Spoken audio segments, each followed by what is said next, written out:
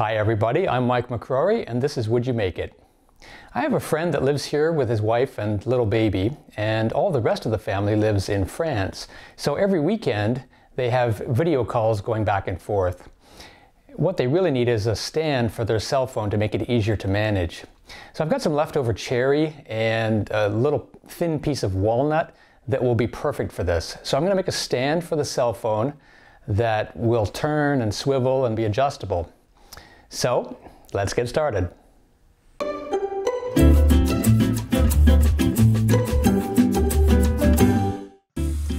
I start by rough cutting the cherry into 10 inch lengths. That'll make it a lot easier to joint um, instead of jointing the whole 44 inch long piece that I have.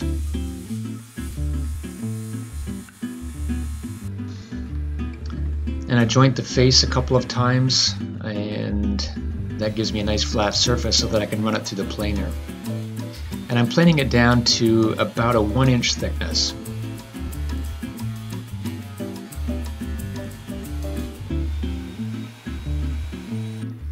I'm going to rip the cherry to be three inches. Um, since the cherry is one inches thick, then that will leave a hole that's one inch square in the center.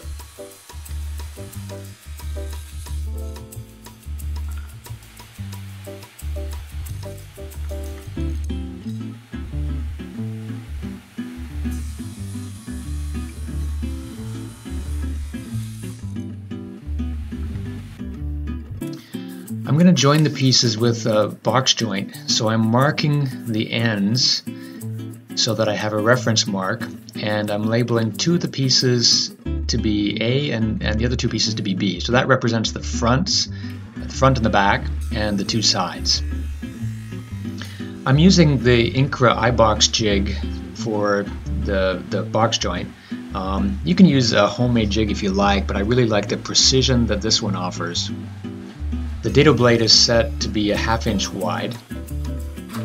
And when I finish the first A piece, I flip it over so that the reference point is pointing toward the center and it butts up against the reference point or the reference mark on the B piece. And this is so that I can set it up so that the two pieces will mate correctly. And then I remove the A piece and continue cutting.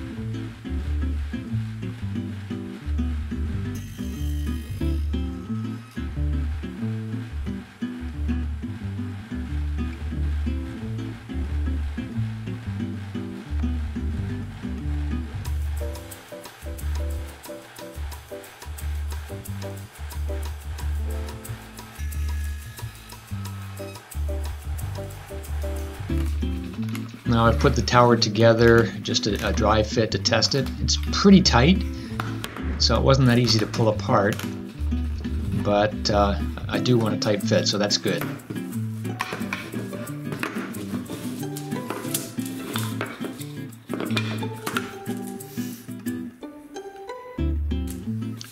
Now I'll glue it up. I don't need to be too careful with the glue because I'm going to sand the entire outer surface after it's glued. So I'm applying it pretty liberally to make sure that I have a good bond.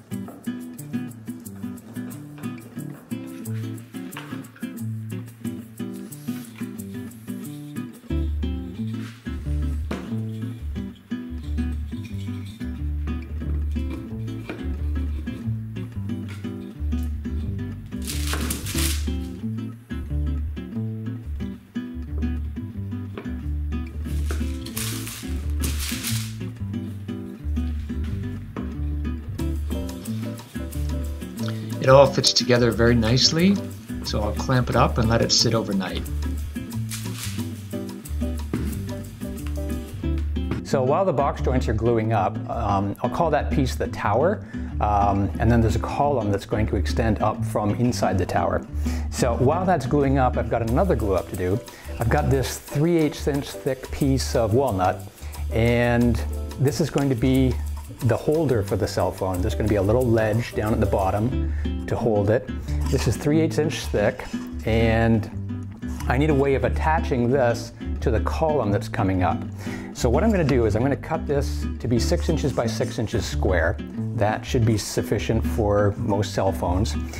And then I'm going to cut a strip and insert it down the middle so that it's perpendicular to the board. And that will provide me with something that I can use to attach to the column. I think it'll make more sense as you see me make it.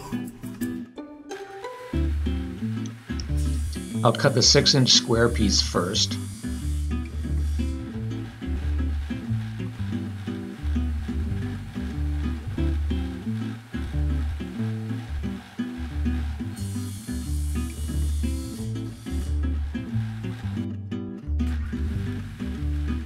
Now I'm cutting it down the middle into two 3 inch pieces. And this piece is about 2 inches wide. This will go perpendicular to the stand and I've drawn a curve on it that I'm going to cut out on the bandsaw.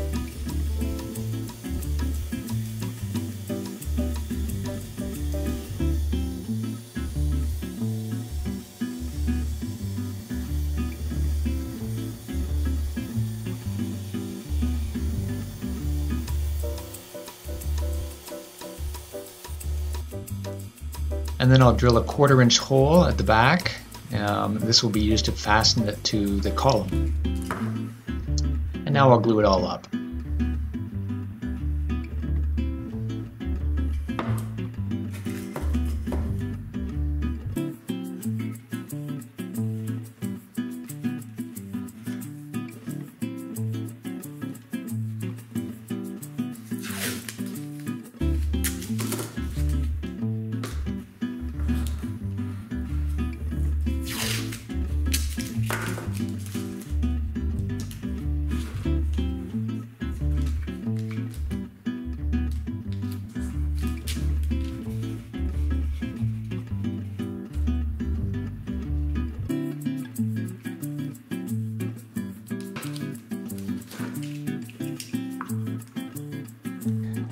So I've measured the interior dimension and it's one and a 16th inches.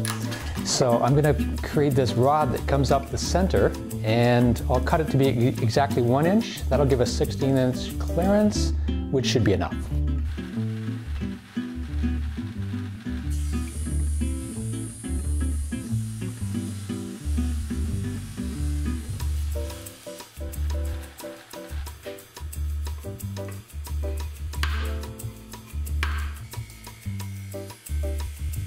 Now I'm cutting a slot in the column. This will be the thickness of the walnut. And I'm using a tenoning jig just for safety.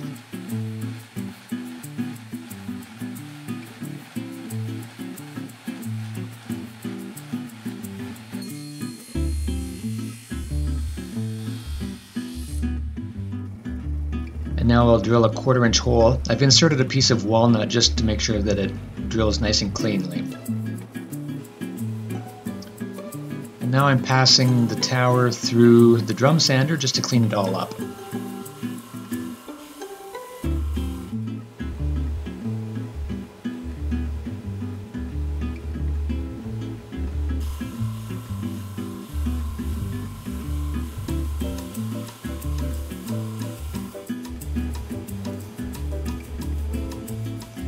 To allow for vertical height adjustment, I'm drilling quarter inch holes uh, one inch apart, and there will be about seven or eight holes here.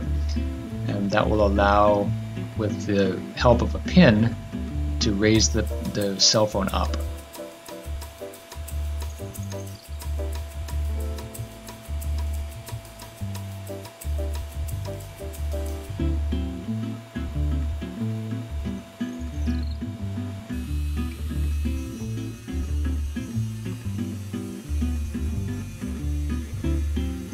And I'm using the router to route a groove down the length of the column.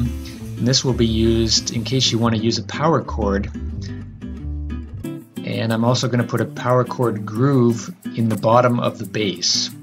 So I'm drilling a hole in the center, inserting the router bit, and then cutting across.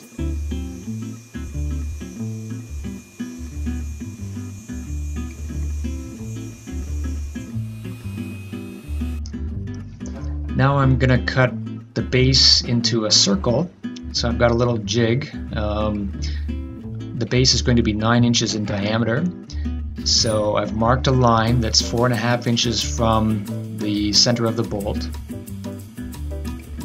And I'll cut through the base to the midpoint and then stop and clamp the base.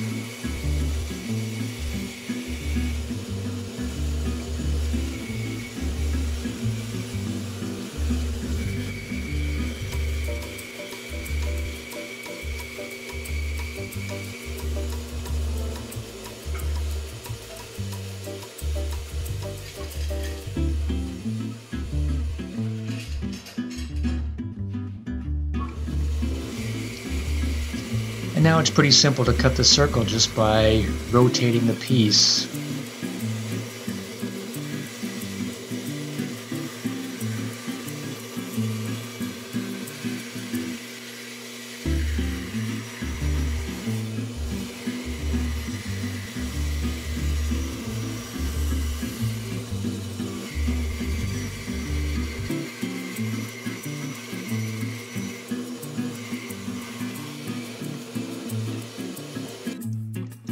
I'll clean up the edge of the base on the belt sander.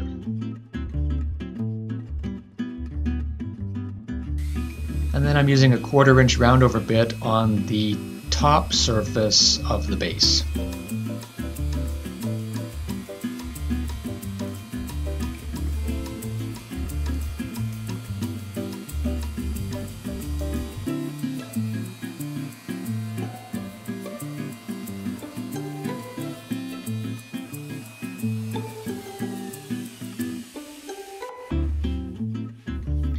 I'm using a 3 inch Lazy Susan bearing on the base and I'm just marking the holes here.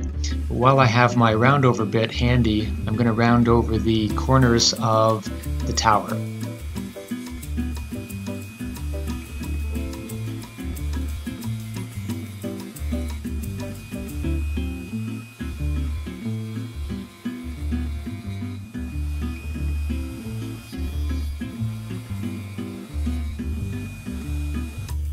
And now I'm drilling eighth inch holes for the screws.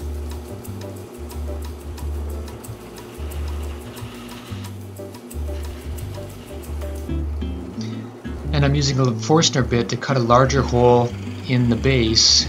That way I can bring the wiring up for the power.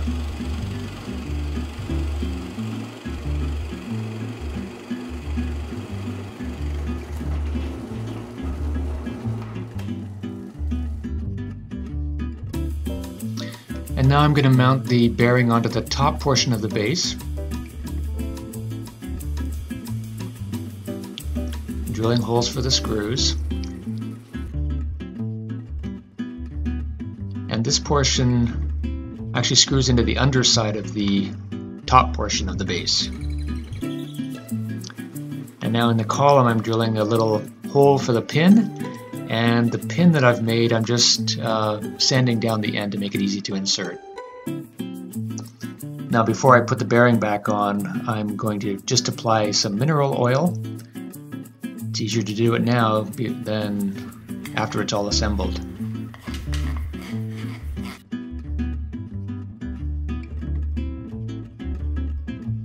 And once the top portion of the bearing is screwed into the top piece, the bottom portion screws in from the underside of the bottom. So after all that, I feel like this is just a little bit too tall, partly because of the swivel portion of the base, which adds about two and a half inches.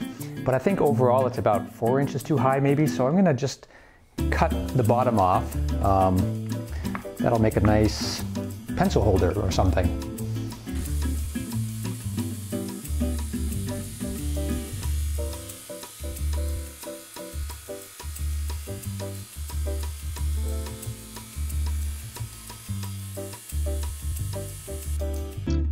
Tower is mounted to the base simply with some wood glue.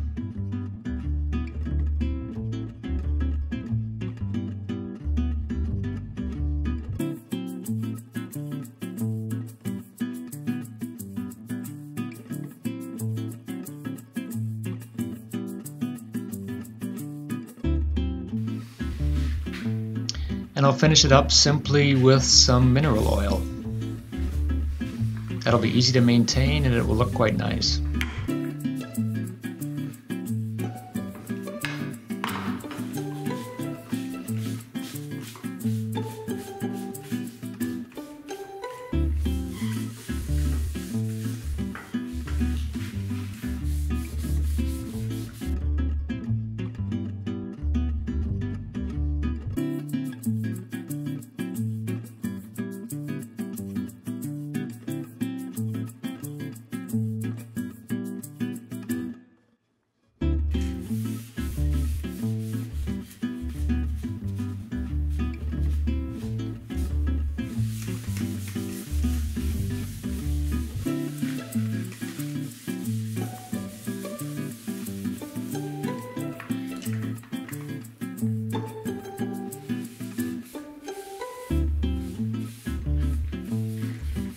So it's big enough that the phone can stand in a portrait mode or landscape.